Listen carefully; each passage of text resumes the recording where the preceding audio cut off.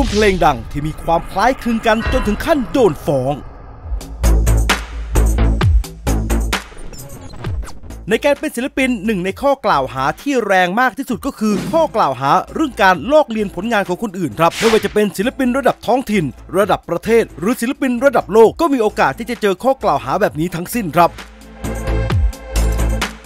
บ่อยครั้งในการกล่าวหานะครับเป็นไปอย่างลอยๆ เป็นกระแสวิพากษ์วิจารณ์เฉยๆครับ แต่ในขณะที่บางครั้งเมื่อศิลปินกล่าวหาศิลปินคนอื่น ว่าลอกผลงานเพลงของตัวเองไป ก็จะกลายเป็นเรื่องคดีความฟ้องร้องกันในชั้นศาลครับ ซึ่งสุดท้ายแล้ว หลายกรณีก็ทำให้ศิลปินที่เป็นงานต้นฉบับเนี่ยได้รับความยุติธรรมครับ แต่ในขณะเดียวกันหลายกรณีเช่นเดียวกันครับ ก็ทำให้ศิลปินที่ถูกกล่าวหาได้เคลียร์ตัวเองเช่นเดียวกันครับ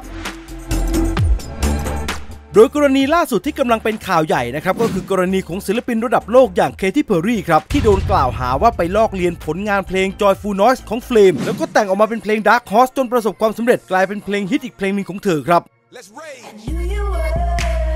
you were gonna come to me. โดยฝ่ายของเฟลมนะครับอ้างว่าเพลงทั้ง 2 เพลงเนี่ยแทบจะเหมือนกันทั้งเพลงครับ แค่จังหวะช้ากว่ากันประมาณ 10 BPM และเสียงสูงกว่า 1 ขั้นเท่านั้นครับ เราลองมาฟังความคล้ายกันของทั้ง 2 เพลงดูครับ come to me. And here you are, but you better choose carefully. 'Cause I, I'm capable of anything, of anything, and everything. You know what it is? I love it. Uh. Uh, uh,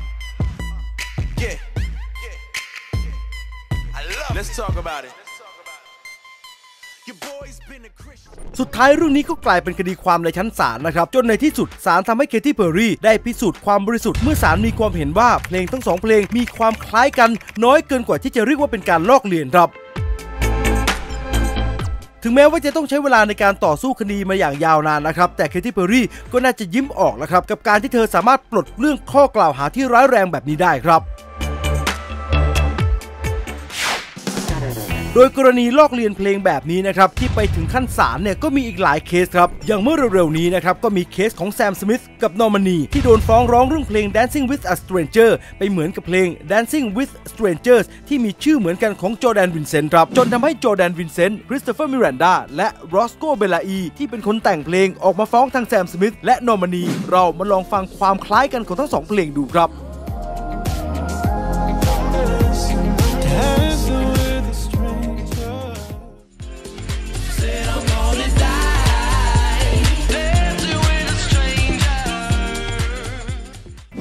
แต่หลายคนก็คิดนะครับว่านอกจากจะชื่อเหมือนแล้วเพลงทั้งสองเพลงไม่ได้เหมือนกันซะทีเดียวครับแต่ฝ่ายคนฟ้องยืนยันว่าผลงานของตัวเองเนี่ยถูกลอกเลียนแน่ๆ ไม่เฉพาะตัวเพลงเท่านั้น แต่ยังอ้างว่ามิวสิกวิดีโอของแซมสมิธลอกเลียนมิวสิกวิดีโอเพลงของพวกเขาอีกด้วยครับ หรือกรณีสาวสุดฮอตอย่างดัวลิปา ก็โดนฟ้องร้องจากกรณีเพลง Levitating แถมไม่ใช่คดีเดียวครับ แต่เป็นถึง 2 เคสติดต่อกันครับ ทั้งจากวงเรกเก้ที่มีชื่อว่า Artikal Sound System ที่บอกว่า Levitating ไปเหมือนกับเพลง Live Your Life ที่ออกมาในปี 2017 โดยเฉพาะท่อนฮุกครับ Moonlight, you're my sunrise, I need you. และอีกเคสที่โดนฟ้องก็คือจากนักแต่งเพลง L. Russell Brown และ Sandy Linzer ครับ ที่ฟ้องดัวลิปาจาก Wrinkle and a Kickle All Night ของ Corey Day และ Don Diablo ของ Miguel Bosé ที่ L. Russell Brown บอกว่าเพลงมีความคล้ายคลึงกันในบางท่อนครับ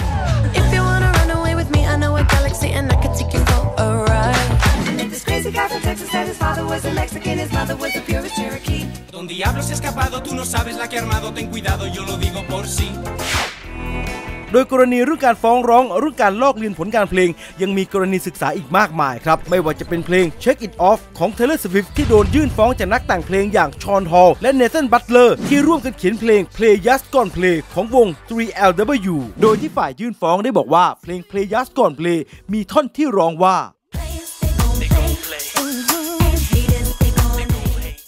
ที่ไปเหมือนกับท่อนหนึ่งในเพลง Shake It Off ของ Taylor Swift ที่ร้องว่า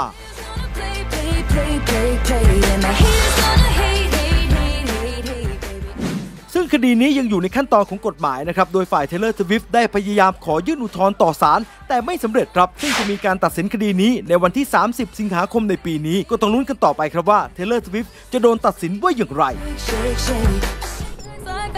นอารีนาแกรนเดโดนยื่นฟ้องจากแรปเปอร์ DOT หรือที่มีชื่อจริงว่าจอชสโตนครับที่บอกว่าเพลง Seven Rings ไปเหมือนกับเพลง You Need It I Got It โดยเฉพาะตรงจังหวะ และก็ท่อนร้องของอารีนาแกรนเดที่ร้องว่า I Want It I Got It I Want It I Got It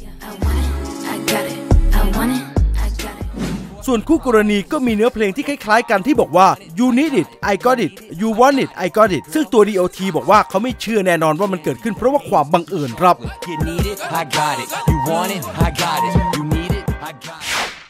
หรือกรณีที่ดังสุดๆ อีกกรณีหนึ่งนะครับ ก็คือคดีของโรบินติกกับฟาเรลวิลเลียมครับ ที่โดนครอบครัวมาวินเกย์ฟ้องร้องจากกรณีเพลง Blurred Lights ที่ไปเหมือนกับเพลง Got to Give It Up ของมาวินเกย์ครับ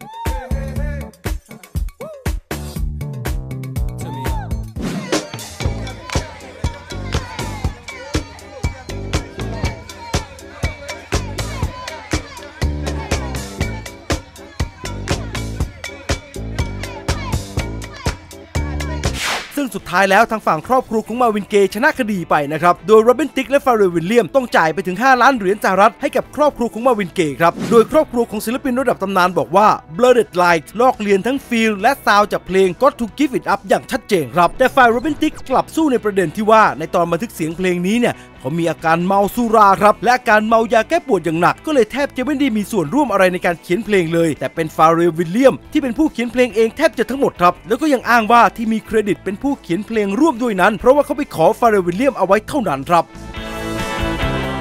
โดยนอกจากโรเบนติกและฟาเรลวิลเลียมแล้วนะครับเอ็ดชิแรนก็เป็นอีกคนหนึ่งครับที่เพลงของตัวเองไปคล้ายกับเพลงของมาวินเกย์ครับ โดยเอ็ดชิแรนโดนเอ็ดทาวเซนที่เป็นผู้ร่วมเขียนเพลง Let's Get It On ของมาวินเกย์ฟ้องว่าเพลง Thinking Out Loud ไปเหมือนกับเพลง Let's Get It On ครับ โดยเฉพาะทำนอง harmony และจังหวะของ Thinking Out Loud ที่เหมือนกับ Let's Get It On มากๆครับ Darling, I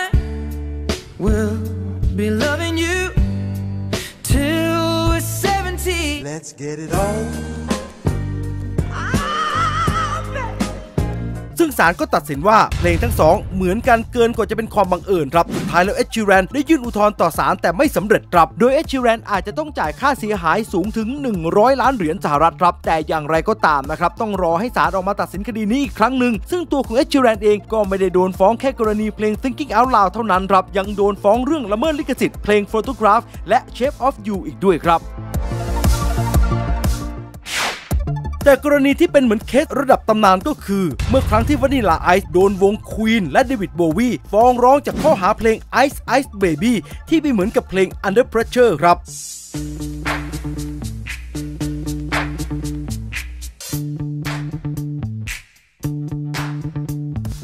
กรณีนี้นะครับ ในเพลง Ice Ice Baby เนี่ยวานิลาไอซ์ยกเอา bassline อันโด่งดังของ Under Pressure มาใช้เป็น sampling ในเพลงโดยไม่ได้มีการขอก่อนครับทำให้วานิลาไอซ์ต้องใส่เครดิตให้กับควีนและเดวิดโบวีเพิ่มเติมลงไปในเพลง Ice Ice Baby และต้องจ่ายเงินชดใช้ไปประมาณ 2.8 ล้านปอนด์ครับ แต่กว่าจะยอมรับเนี่ยตัววานิลาไอซ์เองก็โดนฉีกหน้าไปหลายรอบครับ เริ่มตั้งแต่ปฏิเสธเสียงแข็งครับว่าเจ้าตัวเนี่ยไม่ได้ลอกเลียนเพลงของใครมา ก่อนที่จะยอมรับว่าหยิบยืมเพลงของคนอื่นมาจริงๆครับ แต่ก็ยังโม้อยู่ครับว่าเขาได้ซื้อเพลง Under Pressure มาเป็นของตัวเองเรียบร้อยแล้ว จะไม่ต้องจ่ายค่าลิขสิทธิ์เรื่องนี้ให้เสียเวลา จนตัวแทนของควีนต้องออกมาปฏิเสธ เรื่องนี้อย่างเป็นทางการครับ